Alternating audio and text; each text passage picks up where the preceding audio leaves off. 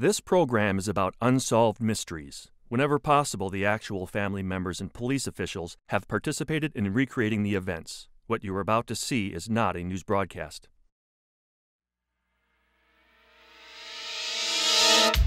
In 1970, Clarence Roberts was found dead in a fire. Or was he?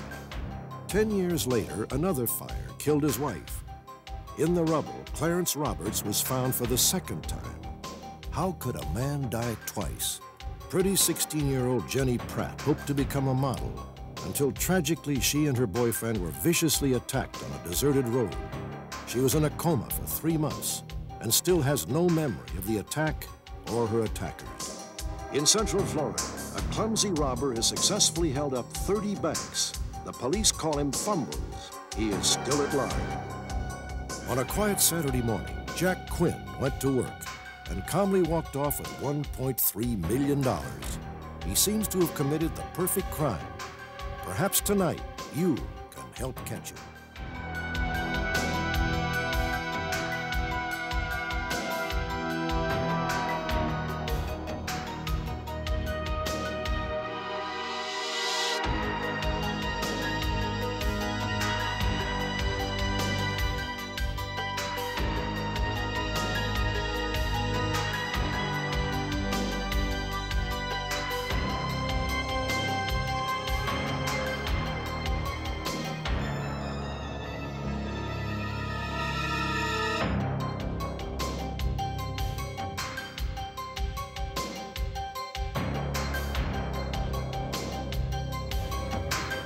Every mystery, there is someone somewhere who knows the truth. Tonight, we'll tell you how our viewers helped capture a Tennessee man accused of murdering two teenage girls. Ten years ago, he fled to Canada. After our broadcast, he is now in custody. Join me. You may be able to help solve the mystery.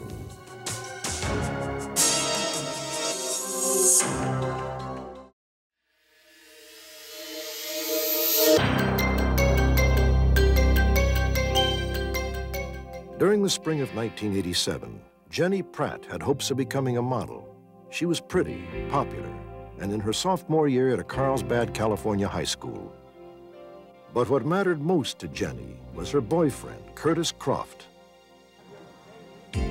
Jenny was only 16, and she was deeply in love with Curtis. He drove a Porsche, had plenty of money, and was a good-looking California surfer. But Curtis's glamorous facade had a darker side. I didn't really, really know what was going on until I'd say almost six months into the relationship when she said, Mom, I have a boyfriend. He's 17 years old. And I said, okay. And he really seemed like a, a, a pretty nice boy. In fact, he, he really did a good job snowing me. He looked 17.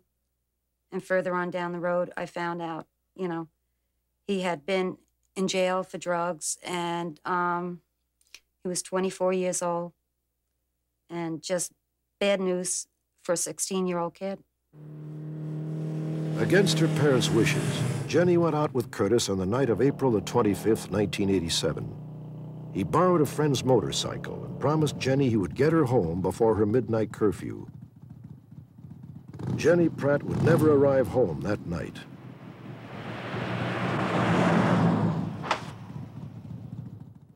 Jennifer Pratt was brutally attacked that April night with an unusual weapon, a heavy board six and a half feet long. The police believe that her assailants may be local teenagers, but so far no one in the community will speak out to identify them. We will not know who attacked Jenny until someone has the courage to step forward with the truth. At 1 a.m. on the night of the incident, Jenny's parents received a telephone call. Their daughter had been airlifted to a nearby hospital. They said, Your daughter's been in an accident. I said, Is she okay? And they wouldn't tell me anything. And they said, You know, you'll have to come down. She's in Scripps in La Jolla. I didn't even know where it was. Neither one of us realized why she would be going to Scripps Hospital. There's a hospital five minutes away. Oh my gosh, I hope she's Scripps Medical Center in La Jolla, California is a renowned trauma center which takes only the most severe cases. Her name is Jenny Pratt. Can we see her? Um, no, you can't see her right now. The doctor's with her. Is she okay? I don't... I was asking, you know, a million questions, but I wasn't getting any answers. Finally, um, the nurse said uh, the doctor would like to talk to us, and he took us off into kind of a waiting room. The doctor told Jenny's parents the worst possible news. Your daughter is brain dead, and we don't expect her to live but two more hours. Jenny had received a very serious injury at the uh, scene of the accident. The blow from the board that struck her was great enough to actually crush the skull, and that caused an immediate uh, shutdown of her brain. And then they said I could see her, and what I saw was horrible. Her hair was red from all the blood. She was bleeding out of her nose, her ears, her mouth. She had tubes all over her. And it was like her whole body was just distorted. Miraculously, Jenny Pratt survived, but she lapsed into a deep coma. Our first uh, involvement in the case was to examine the evidence that was found at the crime scene, which consisted of the two by four that was used to, to hit Jenny and Curtis. So we examined that for physical evidence and didn't find any fingerprints. There were some blood stains on it, which uh, were photographed and were determined to be Jenny's. Curtis was interviewed that same day at the Carlsbad police station. His account of what happened uh, basically is that he was giving Jennifer a ride home. They were driving down Rancho Santa Fe Road, getting to, ready to make a left turn. It's just like going, just approaching the intersection, going real pretty slow. And all of a sudden, something struck me, and I just go, "Ow! What was that?" It's like it just kind of hurt really bad. And then the car, the car went zooming by, and I went back, I turned around and tell Jenny, I "Go, someone threw something at me or something. You know, I don't know what happened. Something hit me. I'm, was, you know, I couldn't believe it. It hurt." And she was out of it, and so I just go, "Oh my God, what's happening?" Uh, we believed it was a case where a carload or a truckload of juveniles had committed this crime. Curtis was giving Jennifer a ride home. They had almost come to a complete stop when he realized that he had been struck by a board and realized that Jenny had been struck by a board and had slumped against him. At the same time, the white pickup truck went by them at a high rate of speed. He had the impression that there was a large group of juveniles in the back of the pickup truck, that they were laughing as they went by, and his impression was that the board came flying from the pickup truck. Quite frankly, we expected it to be a crime that would have been solved just by the nature of juveniles have a tendency to talk. We felt it was very possible that in a short period of time, we would have identified who the suspects were. But to this date, we have yet to have anybody come up and supply us with any direct knowledge of what happened that night. I understand you were a friend of Jenny's parents hired private investigator Louis Crisafi. He interviewed students at Jenny's high school. Basically, all I can tell you is at that night that happened, it was not aimed for Jenny, it was aimed for Curtis. And nobody know, really knows who did it. I have a feeling I know who did it, but no one's really willing to say. There's no doubt that there were people, because of Curtis's background, that didn't like him. He was not a popular person. In 1985, Curtis Croft had been convicted for dealing cocaine. After cooperating with police investigators, he served less than half of his sentence. He developed a reputation as a snitch when he got himself in trouble. And uh, young people, particularly young people involved in drugs, tend to look down on somebody who develops that reputation. Police investigated a number of people who might have wanted to hurt Curtis. Hey, get out here!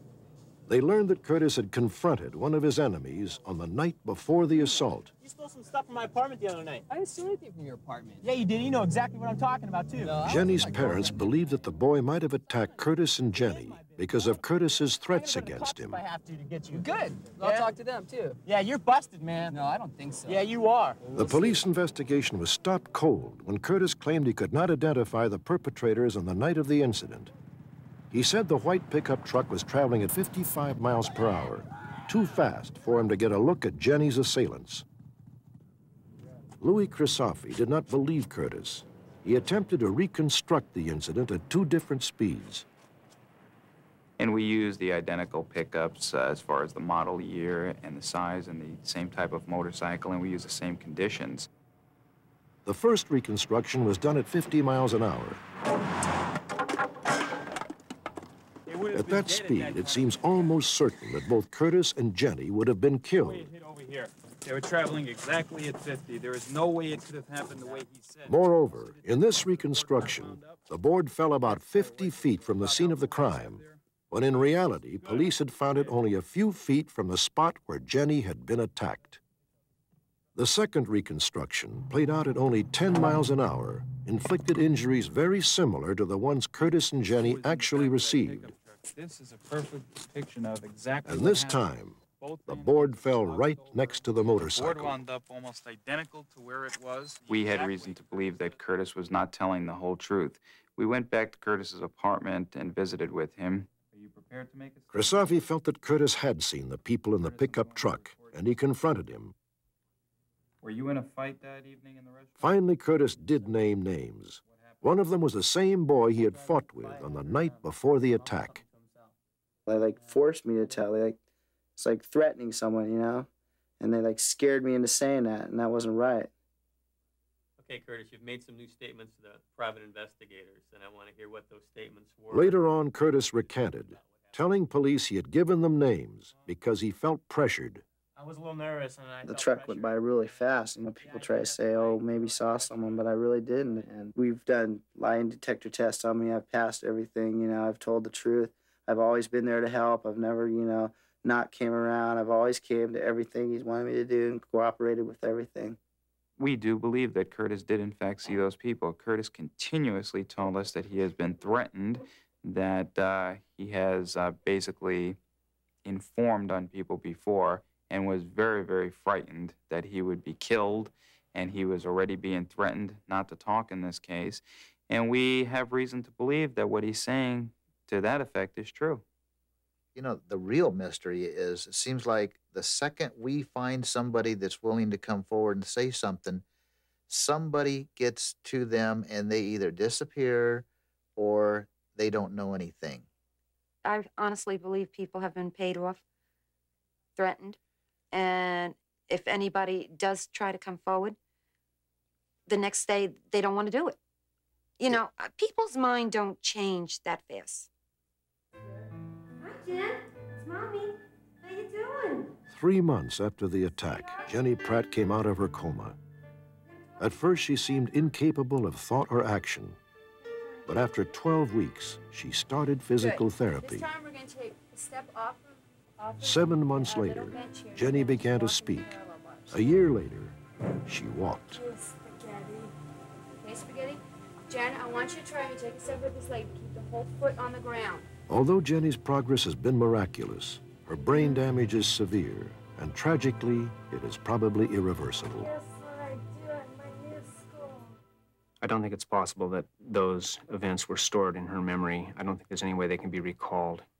I think there's a strong likelihood that she could be told things that she would then repeat. But to remember those actual events is virtually impossible. I'm wondering bad about why somebody was trying to kill me. Why was somebody mad at me? What did I do to them to hurt them? We need somebody in the community with half the courage of Jennifer Pratt. Somebody who just knows the one missing link, the one thing that'll tie this whole case together, because I really think that's all we're missing is a one small link, and someone out there has it.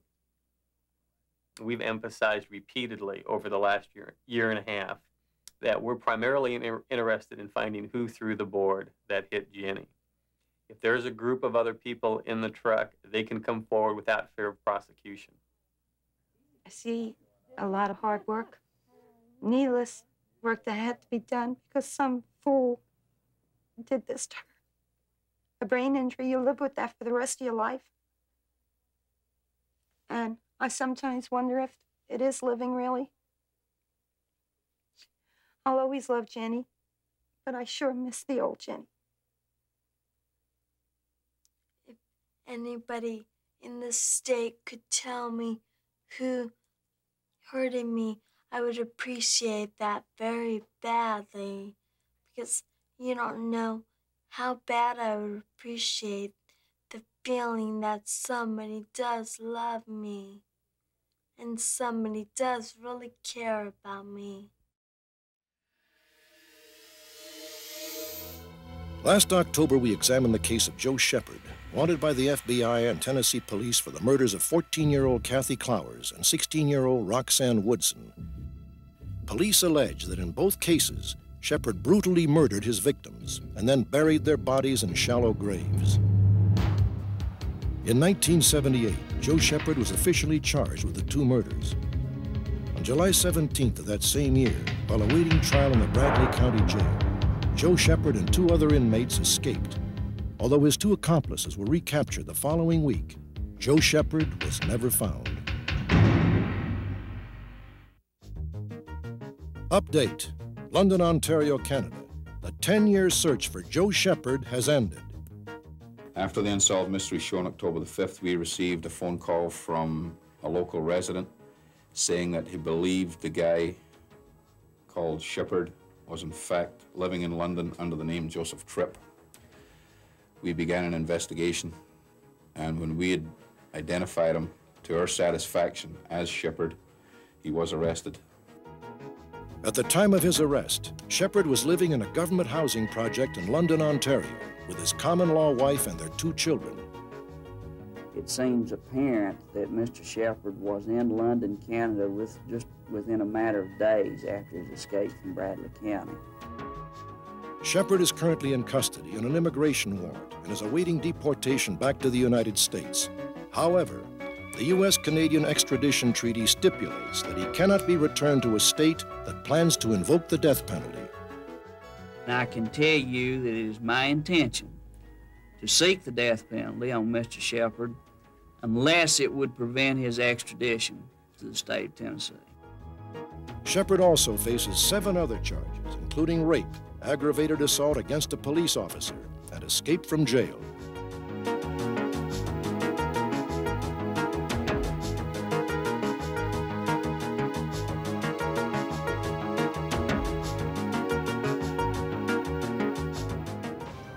Next, the story of Jack Quinn, trusted vice president of a security firm. He stole $1,300,000 in untraceable cash.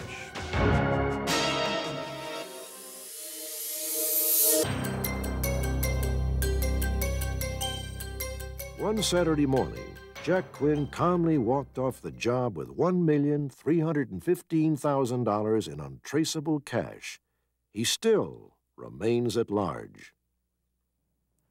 Jack Quinn was vice president and general manager of Federal Protection Services, a company that provided security and armed guards to banks and other financial institutions. Every day, this company handled millions of dollars in cash, and Quinn oversaw the firm's security operation. No problem. At 8 a.m. on Saturday, April 9, 1988, Jack Quinn arrived at his office. Few people were at Federal's office that day, though a supervisor, Harry Goldberg, was working that morning. Morning, Harry. Morning, Jack. I'm going to take care of the morning run. Okay. While Harry continued to work at his desk, Quinn was busy too, but he kept his business to himself.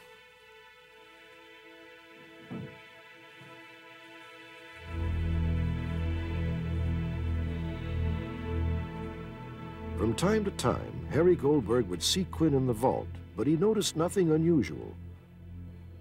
I'd walk down the hall several times, pick up coffee or whatever, and every time I'd go past that window, I'd look in and see him sitting at the desk, just as calm, cool, and collected as you'd ever want to see him.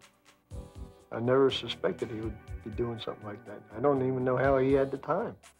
It would take him 20 minutes to pack up the money, loose money. If it was loose and some bags, it would take him maybe a half hour, 45 minutes. Somehow, without being detected, Quinn spent much of the morning in the vault transferring the money from bags to boxes. Outside, Quinn put the money into the trunk of his company car. Quinn also put $107,000 into the trunk of his personal car. He then asked Harry Goldberg to follow him home. When he arrived, Quinn dropped off his car and said goodbye to his wife. Nothing. I have to get back to the office. I'll be about a half hour or so. Okay? Sure. See you. Bye bye. Bye. How's this car doing? Not too bad. It could be better. What do you mean, could be better? Harry Goldberg drove Quinn back to the office. Quinn got into the company car that now held over a million dollars and headed to the airport. Police speculate that he had transferred the money into suitcases. When he arrived at the airport, he unloaded his car and vanished. The trail for Quinn stops at Palm Beach International Airport. The ticket in the car indicates it was left there at 5.36 p.m. on the night of the 9th. From that point, we have no idea where Mr. Quinn is gone. Indications are he did not take a plane, he did not rent a car, and he did not take a cab.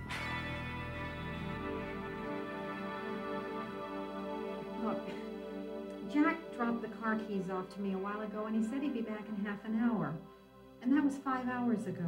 When her husband failed to come home, Quinn's wife called his office. They had no idea where he was or what he had done. The next morning, she found $107,000 in the trunk of their car. She turned it into the police. She also found a letter that read in part, I have done something very wrong, and I can't stay and face the consequences. The monies that Quinn left Federal Protection Service with that Saturday night are untraceable. There are no pre-recorded serial numbers, there are no bait bills. The monies are of a varied denomination and basically could never be traced to him. Since the investigation began, it appears that Quinn may have been involved in several what we call defalcations, missing money, mysterious disappearances from the company prior to this uh, culminating incident. Uh, there was an incident approximately a month prior to his leaving where his wife had found a wad of money in the vehicle, his personal vehicle, and it was unexplained. Whenever the wife would find money, be it in the car, in the house, and so forth, Quinn would explain it away as he had sold something a gun, a car, had sold property, and that would explain his acclamation of the money. Quinn was known to appreciate the good life. He rented a 10 acre horse ranch. Friends wondered how he could afford this extravagant lifestyle on his $35,000 a year income. Several weeks prior to this theft, uh, we learned that the IRS was after Jack Quinn to settle a substantial amount of money. Uh, Jack did not have the money. And it was quite obvious to me that the reason he pulled this job is because he had no other way of satisfying the IRS. He was going to lose everything or possibly go to jail. There were reports that Quinn had been conducting an ongoing affair. A month prior to the theft, Quinn would leave home at 5 a.m., yet not arrive at work until 9.30. Police speculate he used the time to see his girlfriend. They also speculate that they may have run away together. Whatever the reasons for his disappearance, today Jack Quinn is a wanted man. He is 48 years of age. He is stocky with a tendency to put on weight. He has thinning brown hair, brown eyes, and is fluent in Spanish.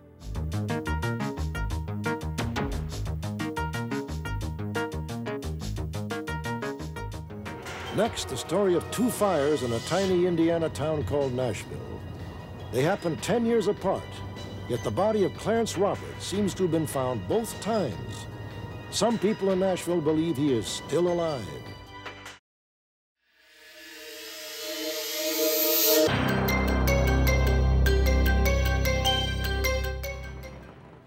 Nashville, Indiana. Population 700. Located in the American heartland, Nashville is like a Norman Rockwell painting brought to life. Here, everyone knows one another, so there are few street addresses and fewer secrets. Nashville is a community in the best sense of the word. Two of Nashville's most illustrious citizens were Clarence and Geneva Roberts. But in the fall of 1970, the couple became embroiled in a firestorm of controversy, betrayal, and murder.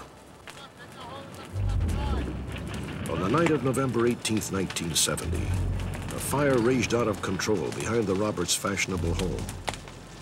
And when the ashes had cooled, a body was discovered and identified as Clarence Roberts. Ten years later, another fire blazed. Two more bodies were discovered. One was Geneva Roberts, and the other was again identified as Clarence Roberts. But how could a man die twice? Today, the people of Nashville still wonder what happened to Clarence Roberts. I talked to both detectives uh, that was on the second fire, and from what they told me, I'd say it was definitely Clarence. I still think Clarence died in the first fire. I don't think Clarence Roberts died in the second fire. I, I just don't believe that. I think Clarence is still alive. I sure do. The mystery of Clarence Roberts' death still haunts those who knew him. In the 1960s, he embodied the American dream. A former sheriff, a board member of the Nashville State Bank, he seemed to have it all.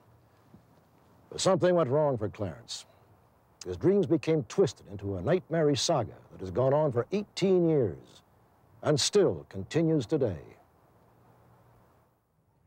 In the 1960s, Clarence owned a prosperous hardware store along with his brother Carson. Clarence was well respected, everyone's friend. He and I worked together for about 22 years. Clarence always seemed to be pretty happy. He enjoyed working. Clarence was outgoing, he was friendly, and always made friends with people, and always got along with people. Well, I'll tell you what, you probably want to use one of these for the shelving, and I've got some good fencing in the back. Clarence worked hard, and he put a lot of hours in when he was younger.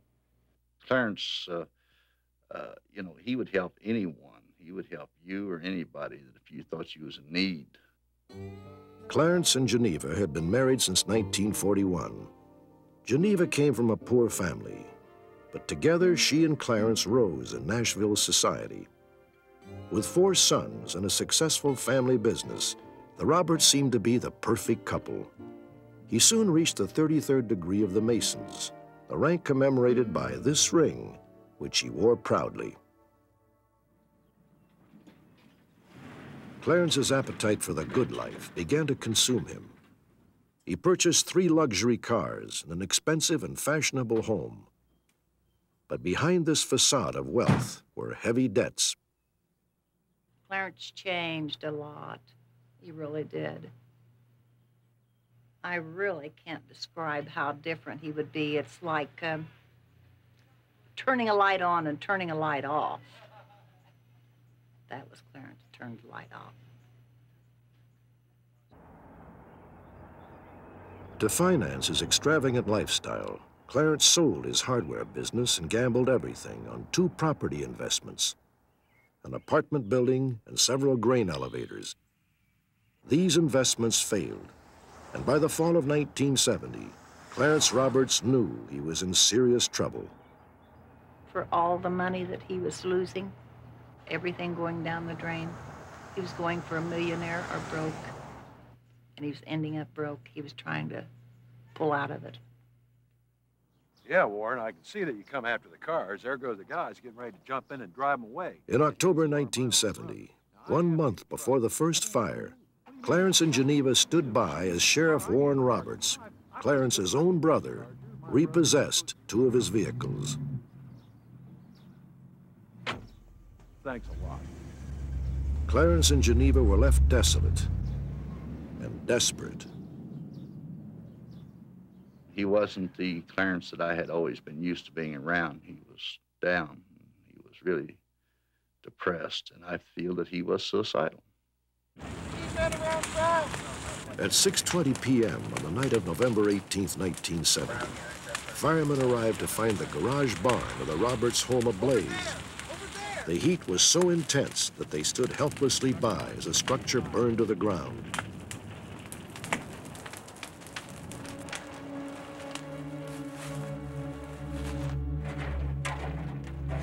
When the fire had cooled, they made a grisly discovery. Chief, come back here. I think we got a body. A body, burned beyond recognition, lay beneath the rubble, a half-melted shotgun by its side. The body was so badly burned it was difficult to identify it as human. Jack Bond, the county coroner, feared that Clarence Roberts had finally paid his debts by taking his own life. When we found the body, why, we thought he'd shot himself. There wasn't much doubt in our minds that he just got too many worries ahead of him and he committed suicide. So when we got back down to the funeral home, why, we started looking for shots. And uh, we couldn't find any. The police wondered how Clarence's suicide could have been accomplished without a gunshot wound. Detective Don Cooster sifted through the debris. Hidden in the ashes, he found Clarence's Masonic ring. Despite the intense heat, it was virtually undamaged. The ring, when it was found, was in excellent shape. The ring definitely had no damage as far as melting or anything on it. There's no way that ring could have withstood the heat of that fire like it did and not even have a damaged part on it at all. I definitely think the ring was a plant. Uh, it, it just, it had to be. It had to be. This was only the first of a series of unusual discoveries. Investigators learned that only months before the fire, Clarence had purchased several insurance policies on his life, totaling close to a million dollars. In addition, a test showed that the body found in the blaze had type AB blood. Clarence's blood type was B. If it wasn't the body of Clarence Roberts, then who died in the fire? Two days before the blaze, Clarence was spotted in a bar in the nearby community of Morgantown, befriending a vagrant. Uh, he'd been seen on the 17th of November, 1970. And from the witness, uh, he was described, he was about 5'7 to 5'9, and he was uh, about the same age as Clarence. And Clarence was with him, but he didn't know his name. I got some grass needs cutting, a little brush needs trimming out the house. Would you be interested? Yeah, we'll get in the car and we'll go. Come on. As they were leaving, a man collapsed from some unknown cause. Clarence said he'd take him to the hospital. And Clarence left with him. And later on, I checked the hospitals within a 300 mile radius, and this man was not admitted to a hospital. Two theories divided Nashville. One that Clarence had killed himself, and second that he murdered the vagrant in order to collect the insurance money. It is even claimed he watched from the woods as the flames destroyed the evidence of his crime. Suicidal? Yes. To commit murder? No way. I can't believe he could have been any part of that. It must be hard, be beyond my wildest imagination to think that Clarence Roberts could ever have been involved with anything like that. Definitely. Definitely, he was capable of it.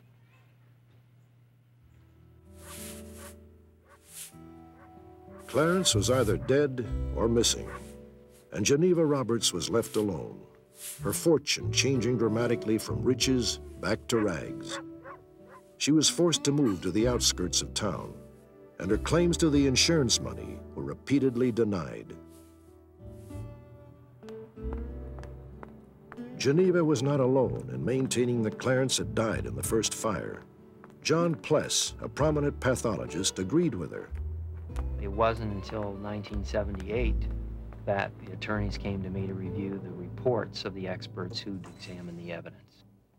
And in the process, I was able to prove to myself and to a lot of other people that the body that was found in that garage was Clarence. Approach the bench. And I testified at the time of the civil trial against the insurance companies that I felt it was highly probable that it was Clarence Roberts. Mrs. Roberts, you have lost your case against the insurance company.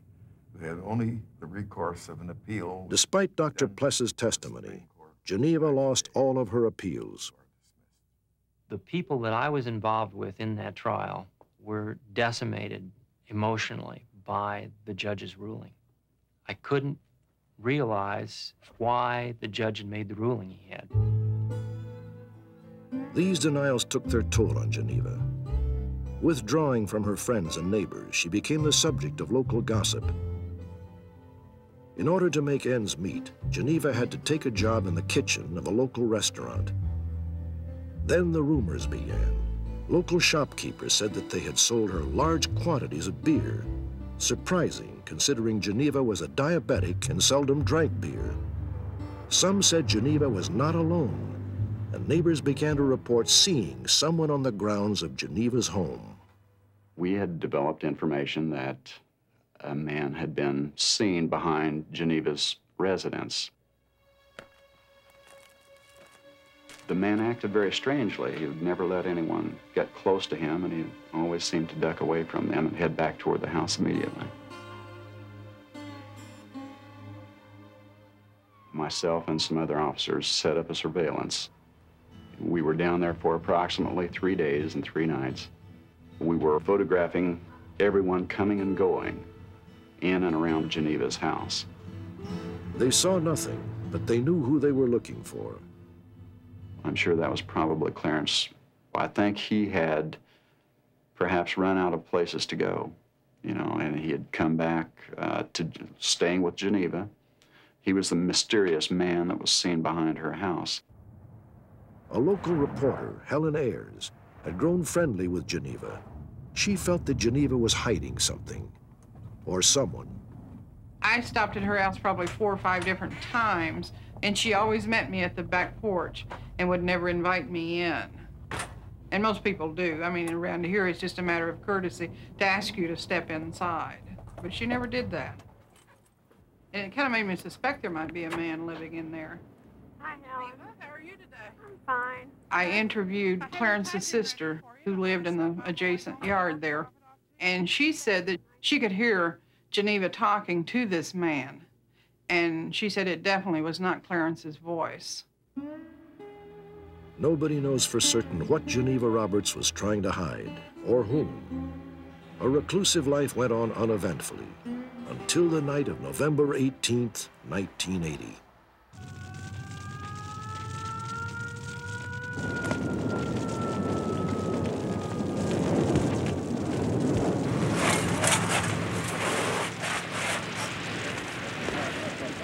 My office called and explained that it was Geneva's house on fire and that they thought Geneva was still inside the house, I went right to the fire scene and the fire was still burning very intensely at that time. After the fire was extinguished, why, we just stayed behind, and I'm not even sure why. Um, I just wanted to look further, uh, as did, I'm sure, the, the firemen. Sifting through the ashes, searchers found the body of Geneva Roberts. Hours later, they made another shocking discovery. Geneva's body had been removed to the funeral home, and the fire had been extinguished. The house was totally demolished. So we'd gone through the rubble, and a fireman had located a second body in another part of the house. And I was just so certain that it would be that of Clarence. I didn't even have to have the comparison films. I knew the bony configuration of Clarence Roberts so well that I recognized him immediately by his chest x-ray. Um, now I knew that I was going to have a difficult time to tell uh, all of my friends and neighbors in the world that Clarence was dead for the second time. It just um, turned out to be Clarence, and I, I was very pleased with that, uh, that this might be coming to an end. A little did I know that it was just starting. This was definitely a set fire caused by an accelerant. It looks like that someone just came in the back door and poured all the way around the walls. The second fire was a clear-cut case of arson. We could follow very clearly these burn patterns from Geneva's bed into the adjacent room where Clarence's body was located, and then down a hallway and out the back door of that house. So we determined right there that at least Geneva had been murdered. We're sure that turpentine was used to ignite this fire. We know that. We simply don't know who started it, whether it was Clarence that started the fire or uh, that of a third party. I subscribe to the, the theory of a third party. Investigators have no clue as to who set this second fire, but they believe they have identified the victim. So I'm absolutely convinced that the second victim, the victim in the second fire, is that of Clarence Roberts. There's just no doubt in my mind. There's not a doubt in my mind at all. I still would like to know who the second body was. So I still can't believe it was Clarence. Pathologist says it is. So. But I still don't, me personally, I don't believe that the second fire was Clarence. I'm absolutely convinced that Clarence Roberts died in the second fire and that some person, possibly a derelict, uh, died in, in the first fire. And when I say absolutely, I mean that this is uh, uh, not only a reasonable medical certainty, uh, but beyond a shadow of a doubt.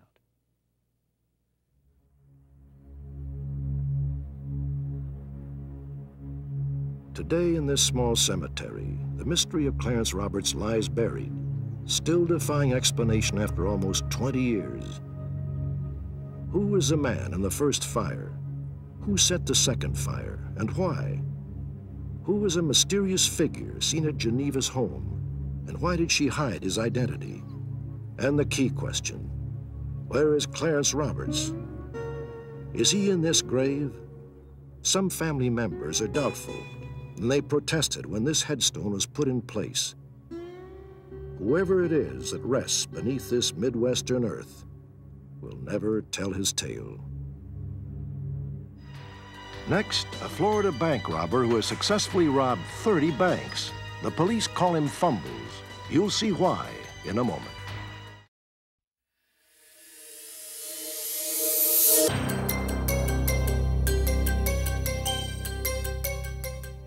Since July 12, 1984, a robber wearing gloves and a baseball cap has held up nearly 30 banks throughout Florida. But as we will see, this felon has succeeded almost in spite of himself. For the authorities know him as Fumbles. This robber hits small suburban banks, usually in outdoor shopping malls. Besides a cap and gloves, he has another distinctive trademark.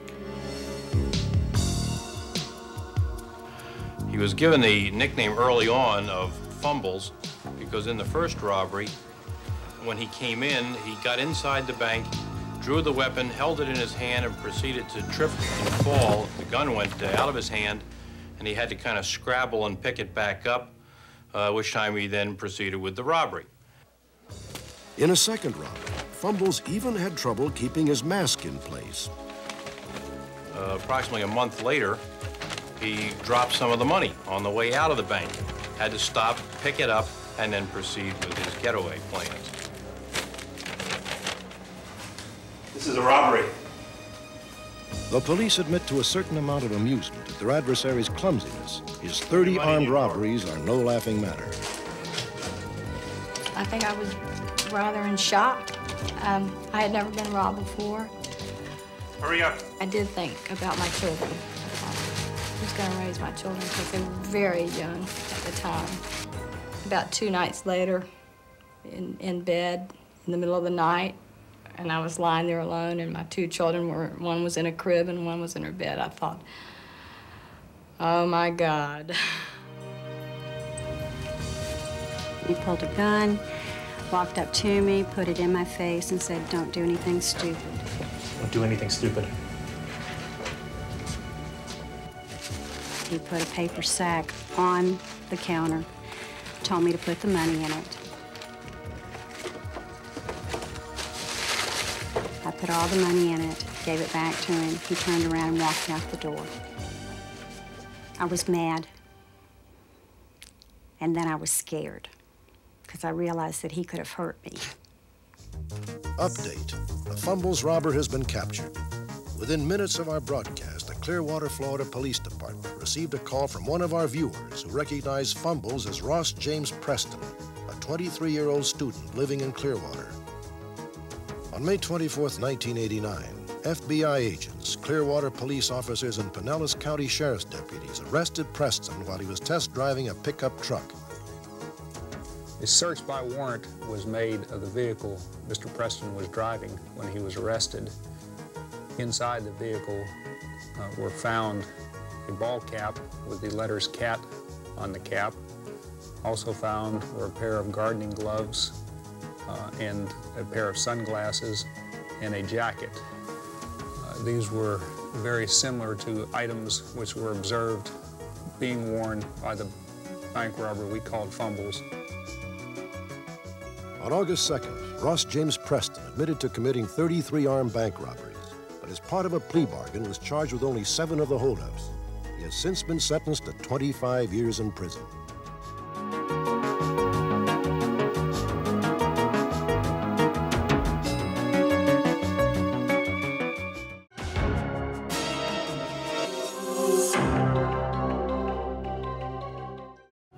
Every mystery, there is someone, somewhere, who knows the truth. Perhaps that someone is watching. Perhaps it's you.